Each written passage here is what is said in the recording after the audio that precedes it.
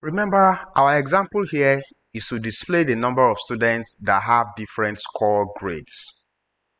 The way it's being displayed right now is using this stacked column chart to compare the number of scores per program in each grade. So we will look at grade A, for example, and we can compare how many MSc versus how many BSc. We will look at grade B, for example, and we can compare how many MSc versus how many BSc, right? And we can make that judgment based on the length of the bars. But another way we could display this information is to have two separate column charts.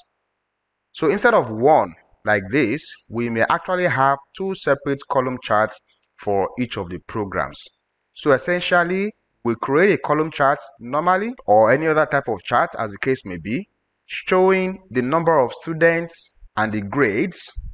Then we will use program type in small multiples to duplicate the chart.